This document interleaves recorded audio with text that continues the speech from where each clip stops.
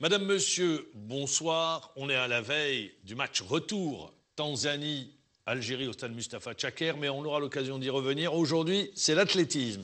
L'athlétisme avec le marathon d'Alger qui aura lieu le 27 de ce mois. L'athlétisme avec à la fin de la semaine l'ouverture de la saison de cross country, mais également avec le dopage et les dernières décisions prises par la Fédération internationale, mais également par l'agence anti-dopage. Et pour en parler, le président de la Fédération algérienne d'athlétisme, M. Ahmad Bourras, bonsoir, merci d'être avec nous. Abdelzak Serwani, journaliste à Planète Sport, spécialiste d'athlétisme, bonsoir. Bonsoir. Ahmad Bourras, la saison de cross-country débute ce vendredi par Constantine. Alors, par rapport à la saison dernière, à quoi est-ce, est-ce qu'il y a des nouveautés cette saison? Bon, bonjour, merci euh, de m'avoir invité avant tout. Et euh, la nouveauté cette année, c'est qu'il y a un nouveau cross à Constantine.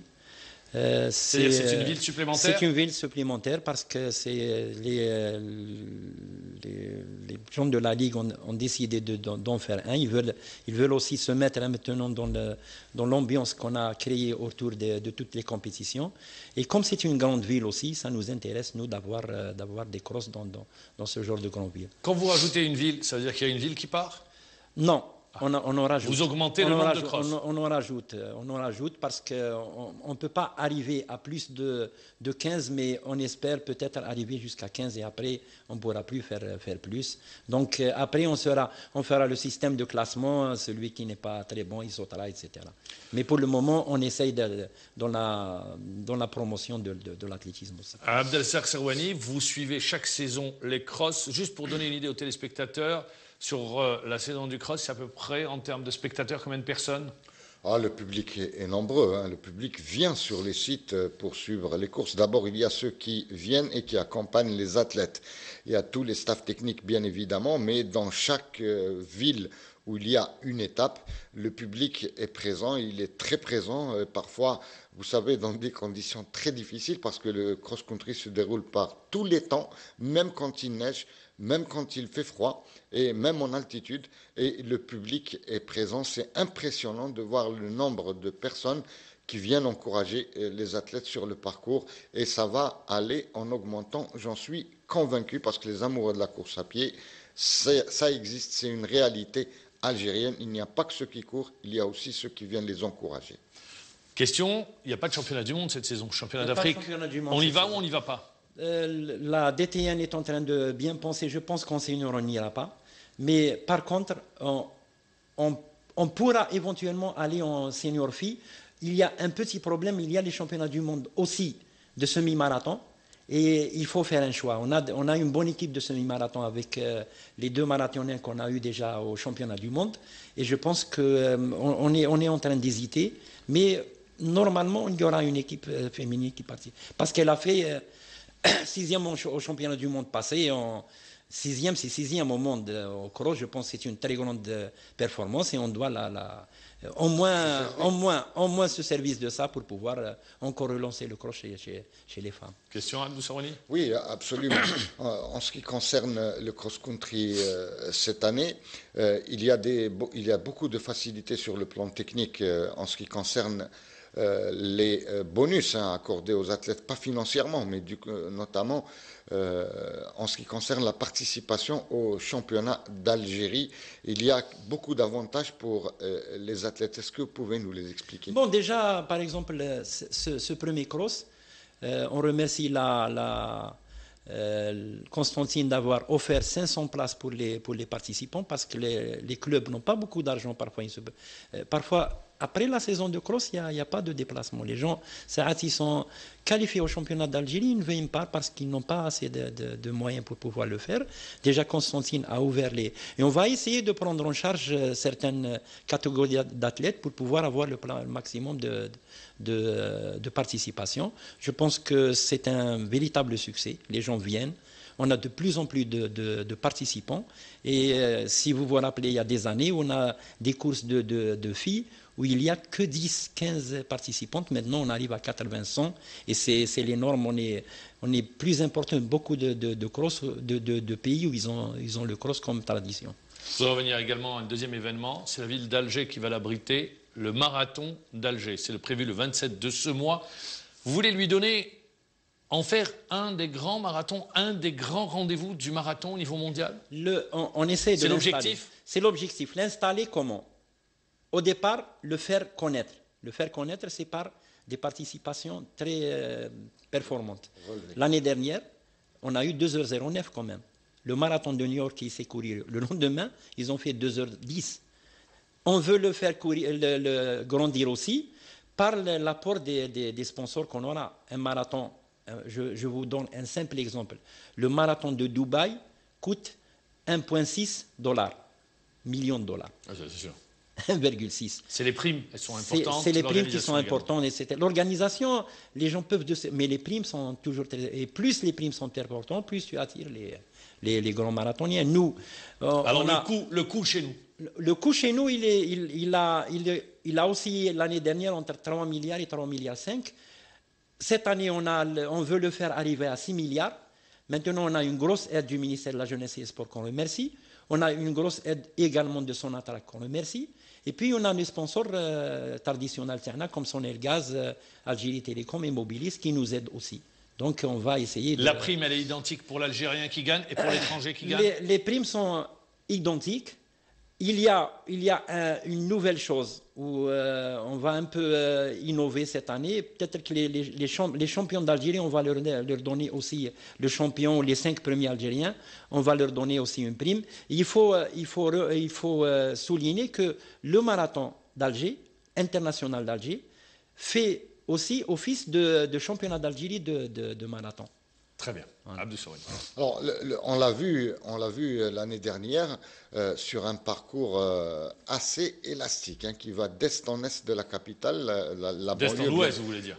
de- D'est en ouest, effectivement, euh, de, de la capitale, là, les deux banlieues. ont été- Est-ce que c'est le même parcours C'est- cette année? C'est le même parcours avec de petites euh, différences. Au lieu de partir vers euh, un peu plus loin que la, le- la Sûreté nationale, on- les, les, athlètes un peu tourneront plus loin que la direction générale de la Sûreté. la Bablouet. Sûreté nationale. Les, les gens retourneront, mais on a, on a fait en sorte que ça sera toujours 42-195 km. Très bien. Est-ce- quels sont les noms que vous attendez? Est-ce que vous pouvez aujourd'hui N- nous euh, annoncer je- des je- noms je suis Des cap- par exemple? Je ne suis pas capable de vous dire exactement les noms, mais je peux, je veux- je peux vous dire que la, la participation sera meilleure que l'année dernière déjà. Voilà. Ce qui veut dire, en d'autres ça dépend, termes- Voilà, ça dépend, du, ça dépend de, de- La des- prime, elle est de combien pour le vainqueur? La prime, elle est à peu près de 800 000, euh, 800 000 1 million de dinars. à peu près. Un million de dinars. c'est Ce- Autour de 10 000, 10 000 dollars. Euh, un, à peu, peu un peu près 10 moins, 000, un un peu peu moins, Avec peu la, la dévaluation du dinar, Ça reste attractif. euh, ça, te- ça reste En attractif. euros, en euros, c'est beaucoup moins. C'est beaucoup moins. Bon, euh, le, le problème, c'est qu'on ne peut pas lutter contre cette baisse du dinar. Le marathon de New York, c'est combien le vainqueur C'est 100 000 dollars, je pense. Merci. c'est Le pour C'est vous donner une idée aux téléspectateurs. Il y a, il y a- il y a des marathons qui ont fait à certains moments un million de dollars Très bien. de, de primes. Bon, Je vous pose une cette question, M. Ammar Boras. Aujourd'hui, euh, est-ce que c'est facile ou c'est compliqué d'organiser un marathon de cette envergure en Algérie Euh, nous, par exemple, déjà, on, a, on veut limiter, on ne veut pas partir au-delà de 3000 participants. Parce c'est compliqué au départ. Un marathon se prépare à très long terme. Nous, on reçoit les autorisations, par exemple, euh, du ministère, je ne parle pas du nouveau ministre. On n'a pas reçu d'autorisation jusqu'à... Ça fait pas longtemps. Et euh, c'est très compliqué parce que ce n'est pas comme un stade. C'est facile un meeting par rapport à un marathon. Tu as affaire à, à des automobilistes, tu as affaire à, à la wilaya d'Alger, tu as affaire à la... Mais là, la à- circulation, etc. la circulation sera bloquée. Elle, sera bloquée. On a reçu les assurances de, de la wilaya déjà l'année dernière. On a changé pour un peu plus faciliter le, le- le marathon. On a changé du samedi, on a, retu- on a, on l'a mis vendredi parce qu'il y a des vers euh, la place des martyrs, etc. Samedi. 1er novembre, on a remarqué qu'il y avait beaucoup de, euh, de magasins ouverts, etc. Ça a posé un problème. On n'a pas l'habitude de le faire. C'est pas New York. New York, c'est la ville est bloquée. Vous- Boston, elle est bloquée. Vous avez- Beyrouth, elle est bloquée. Nous, on arrive. Il faut, la- il faut, il faut euh, faire arriver aux gens d'accepter le marathon, n'est marathon. pas, le marathon n'est pas encore installé sur la Oui, mais il n'est pas encore installé. Avec le temps, Et je avec pense le que la donne voilà. changer. Très bien, voilà. voilà. C'est une manifestation également euh, sportive qui reçoit euh, les encouragements de la présidence de la République. Donc ça vous incite davantage à, à nous, être nous ça, nous a, ça nous a donné un bon coup de, de, euh, de, de promotion aussi pour pouvoir faire un, une, une- un véritable marathon. Il faut qu'il soit soutenu par les, par les, plus hautes autorités du pouvoirs pays. publics. Et quand même, euh, par exemple, l'IAF et la, la, la CA, quand elles voient que c'est les, les, les pouvoirs publics qui, euh, qui, qui poussent, ils- eux aussi, ils, veulent- ils peuvent aider. La- Peut-être l'année prochaine, il sera dans les marathons qui seront qualificatifs pour les championnats du monde. Il suffit de faire un bon marathon, de faire un bon temps et qu'il bon ait un bon parcours plat et, euh, qu'on ne se trompe pas, par exemple, de temps qu'on et, les- après ça, ça, ça- ça se confirmera. Très bien, ça sera le 27 de ce mois. Également, Ahmad Boulas, l'athlétisme, c'est les Jeux Olympiques. On est à moins d'un an des Jeux Olympiques de Rio 2016. Est-ce que l'argent pour la préparation des athlètes, est-ce qu'aujourd'hui, parce que ça passe par des minima, est-ce que sur ce volet-là, aujourd'hui, on sait à peu près combien d'athlètes vont participer, il n'y aura pas de, sur- de grosses surprises, est-ce qu'aujourd'hui également à ce niveau-là, c'est réglé? Et est-ce que la Fédération algérienne d'athlétisme a l'ambition, rappelons-le, comme au dernier JO de Londres ou auparavant à Sydney, de voir un de ces athlètes postuler à une médaille? Vous pensez sûrement à Morloufi et Borata. Vous avez donné la réponse sur les, euh, éventuels euh, médaillés, c'est Bourada et Makhloufi. Euh, je pense que l'objectif. On a ramener deux médailles, ça sera très, euh, très positif pour la pas pour l'Algérie, pas pour, Pour la fédération. pour la fédération. Parce que la fédération, La fédération, en fait, ce qu'elle récolte, c'est cette dynamique qui peut s'installer. c'est tout, voilà, on, on installe une dynamique de compétition, etc. Mais le- on n'a pas une grosse emprise sur, le- sur, le- sur les résultats finalement, parce que c'est- des athlètes individuels. Parfois, euh, il y a un entraîneur qui, qui se trompe dans un plan de préparation et ça. Alors, Est-ce que les moyens, Mais les, athlètes ont les moyens Franchement, maintenant, la Fédération algérienne d'athlétisme n'a pas encore reçu l'argent pour pouvoir commencer à préparer ses athlètes.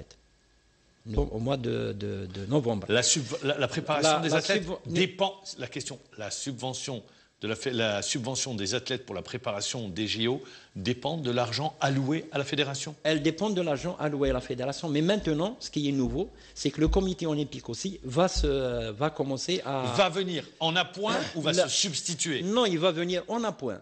Parce que là, la fédération reste la principale euh, concernée par la préparation des athlètes. Ça va venir en appoint, mais c'est un appoint qui sera très important parce qu'on n'a pas trop de temps. Le, comité olympique est beaucoup plus flexible que le, ministère qui dépend d'autres ministères des Finances, etc. Et que ça mettra du temps. Peut-être qu'on les aura en janvier. Et nous, déjà, les athlètes ont commencé à se préparer. Borada va partir au stade. Ils sont déjà, ils sont déjà en, ils sont déjà en préparation. Euh, on a le gros problème qu'on a nous pour pouvoir préparer nos athlètes. On n'a pas, par exemple, où il y a le- la majorité de- des grands athlètes qui, sont- qui s'entraînent chez nous, ceux qui étaient par exemple aux Jeux africains quasi euh, 100% et euh, Borada, euh, à titre d'exemple, qui a été cinquième. Euh, s'entraînent au stade Sato de- de- du 5 juillet et le- la piste est complètement euh, Il y a des dodanes, il y a des dodanes Ah, Peut-être vous avez marché dessus. très bien, Et nous, là, on, vu. demande, on a demandé au ministère qui sont d'accord. Maintenant, on, doit trouver la façon de la faire et la, meilleure manière de la faire pour ne pas aussi qu'elle ne soit pas performante, qu'elle va s'abîmer très rapidement, etc. Ça Mais peut là, on a encore. des blessures pour les athlètes? Euh, là, ca- euh, 90% de nos athlètes sont blessés parce que la, la piste est mauvaise. Très bien, mais c'est un appel qui est lancé. J'espère justement que du côté de la direction générale de l'Office du complexe olympique, cet appel soit entendu, mais également du côté du ministère de la Jeunesse et des Sports. On va passer à un sujet également d'actualité plus que jamais avec ce qui s'est passé tout récemment, les révélations qui ont été faites à partir d'un reportage de la télévision allemande. Rappelons que l'Agence mondiale antidopage a souhaité suspendre la Russie. Le Kremlin a réagi en disant qu'il n'en était absolument rien et que c'était pas vrai, que c'est pas aussi généralisé. Quoi qu'il en soit, l'IAF a suivi, la Russie est suspendue. On laisse entendre que le Kenya également est touché et l'Algérie. L'Algérie n'est pas touchée dans cette histoire-là, Très bien. déjà. C'est Euh, une autre histoire. C'est une autre histoire. Nous, le, le, le doping en Algérie, il est euh, embryonnaire. Et, euh, Heureusement. et, mais, embryonnaire, mais, les, c'est par manque de, de connaissances, les gens prennent parfois n'importe quoi. On a, on a eu une, une jeune de, de qui n'est pas assez jeune à l'école de, de Béjaïa, qui est parti voir des gens qui font le, pas l'haltérophilie, le, bodybuilding. voilà, bodybuilding dans une salle. Ils lui ont donné des médicaments qui étaient du stanozolol, etc. Vous, vous, vous, vous rappelez l'histoire du stanozolol, les, les gens ne se dopent plus avec ça et la fille est positive dans un championnat d'Algérie.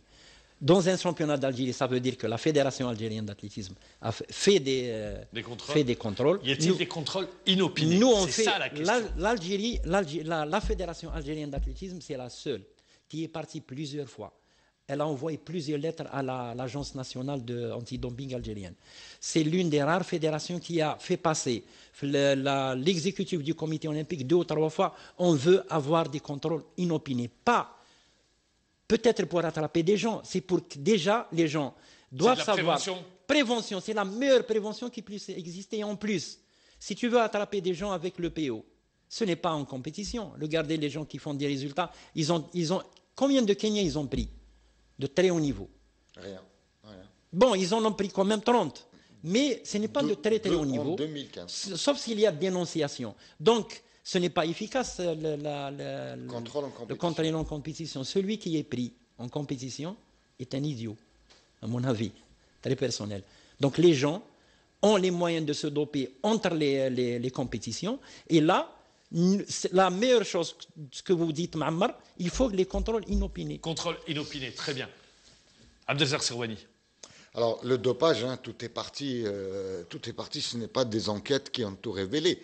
On le sait, c'est les athlètes qui ont parlé, notamment cette athlète du 1500 mètres turc qui a été contrôlée positive et euh, qui, à qui on a demandé de l'argent, beaucoup d'argent. Et puis, elle a parlé. C'est important que les athlètes parlent aujourd'hui. Est-ce que c'est les athlètes eux-mêmes qui vont régler euh, ces comptes au dopage? Est-ce que vous y croyez? Écoutez, quand j'ai eu ma propre fille qui a été positive, moi, j'ai demandé à la Vous êtes le, père d'une championne de Zahra euh, Vous-même, ancien entraîneur, pour les jeunes qui ne connaissent pas, entraîneur de Hassiba Boulmarkaï. Donc, moi-même, j'ai demandé à la Fédération algérienne d'athlétisme de déposer plainte contre Zahra Bouras. Pour la simple raison, c'est la meilleure manière de dire qui fait quoi dans cette histoire. Ou bien plainte contre son entraîneur ou moi-même pour pouvoir aller jusqu'au bout de notre, de notre euh, de, notre honnêteté par rapport à ça. Parce que ce n'est que la police qui peut prendre une personne, les médicaments. Toi, tu l'as.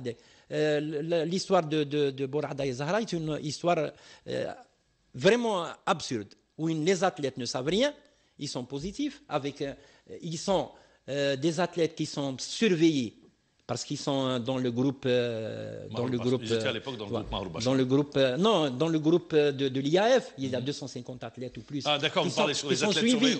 donc ils peuvent être contrôlés même chez eux. Ils sont pris avec un médicament qui reste 6 mois dans le corps. Ça veut dire qu'il y a un gros problème. plus. ou plus. par pas plus. 18 mois. On a demandé par exemple à l'IAF de Zahra a demandé par écrit à l'IAF, qui n'ont jamais rien fait, de prendre ses cheveux, parce qu'ils peuvent remonter plus. Elle voulait savoir quand est-ce le médicament le dans son organisme. Parfois, on peut pas. On, Vous n'avez pas, eu de réponse. On n'a pas eu de réponse, mais j'ai posé le problème à l'IAF moi-même. Ça ne fait, pas, ça fait pas longtemps.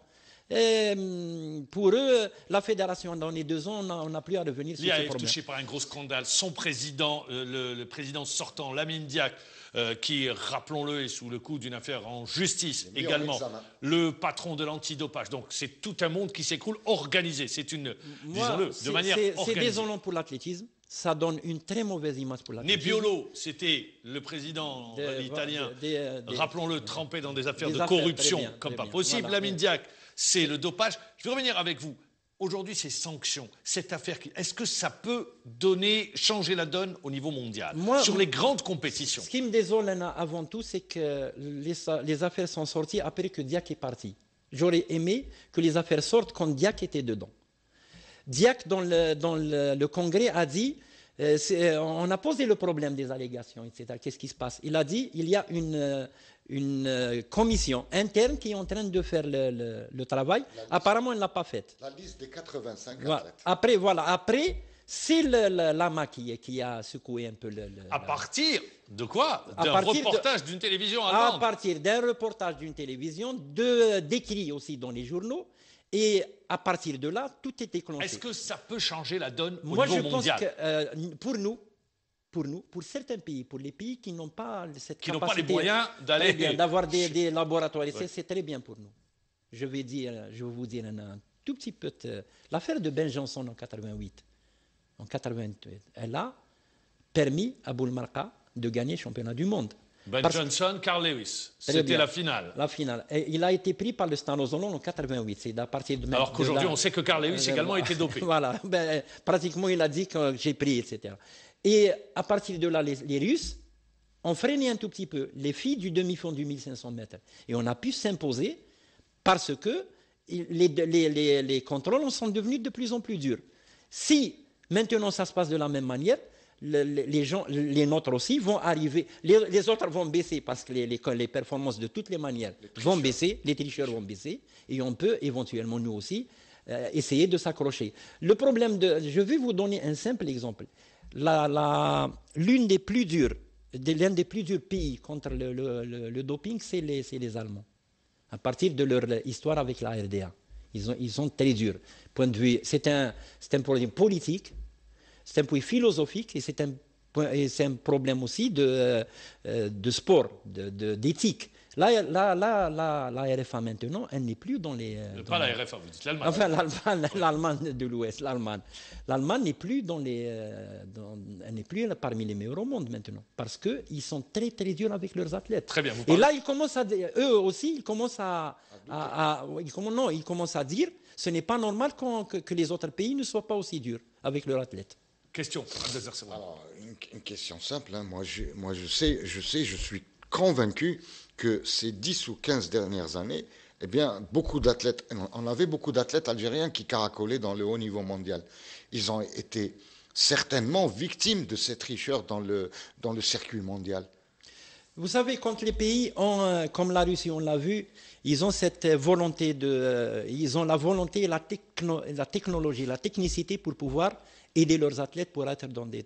Euh, Un, déjà, ils ont les infrastructures, ils ont, ils ont la, la compétence technique et en plus, ils ont cette, euh, ce- la préparation biologique, si on appelle ça préparation biologique, c'est du doping à l'école Et euh, bien sûr qu'ils sont parmi les premiers. Nous, peut-être qu'on a perdu des médailles d'or en ces temps-là. Peut-être que. euh, Pardon, pardon, Amal Bras, je vous dis ça parce que tout simplement, maintenant, dans les commentaires qui se font par rapport à la, à la crise sur le dopage dans l'athlétisme, on a cité la première décision de la Diak en arrivant à la tête de l'IAF en 1999, c'était de pousser afin que, par exemple, un athlète comme Sotomayor euh, soit blanchi et que la sanction soit réduite d'une année. Donc, si Sotomayor est revenu, donc en 2000, Abdelrahman Hamed dev- a pris la médaille de bronze. Il aurait pu la médaille. de- Et une année il y a plus- Ru- un russe devant lui aussi. Et une année plus tard, Sotomayor récidive et il est suspendu Très à bien. vie. Très bien. Moi, La- je voudrais revenir la- sur un aspect je vais vous demander une réponse rapide. On arrive à la fin de l'émission. Pour vous, est-ce qu'il y a des performances qui vous ont étonné sur ces dernières années, ou derniers JO, par exemple, ou derniers championnats je du monde? Est-ce qu'il y a des athlètes, des athlètes qui vous ont. J'ai vu euh, 3, euh, 3,50 à la fille de l'Éthiopie, etc. J'ai été entraîneur. Je sais ce que c'est entraîner un athlète de très très haut niveau, Vous parlez de Dibaba. De Dibaba. Pas, pas, je ne dis pas qu'elle s'est dopée, mais Sa un- performance Écoute, interpelle écoute, écoute euh, en 1993, vous vous rappelez des Chinoises? Très fort. À Stuttgart. à Stuttgart Moi, j'ai dit, j'ai dit, c'est anormal, c'est On avait parlé d'une potion magique à l'époque. Voilà, ça, bon, c'était, c'est aussi de l'EPO. ça servait à C'est aussi de l'EPO. J'ai, en- j'ai entendu la première fois parler de l'EPO en 1996. Donc, il y a des performances qui vous interpellent. et- et- le- je, je- je termine, je termine Ça cela. sera la tout. conclusion. Je termine cela. J'ai dit, Anna, je leur ai dit dans une interview, moi je suis entraîneur, je sais la, ce qu'on fait subir à nos athlètes, et pour que Hassiba ait fait 3,55, c'était énorme comme boulot, comme travail. Et la fille, elle vient, elle te fait 3,50. Je lui dis, il y a quelque chose d'anormal. J'ai été critiqué ici, mais après, l'année prochaine, il n'y a plus eu de L'année filles. d'après, vous L'année d'après, pardon, excusez-moi. L'année d'après, il n'y a plus eu de filles qui sont descendus moins de 4-10 chez eux, parce qu'ils ont commencé à faire quel contrôle? Inopinés.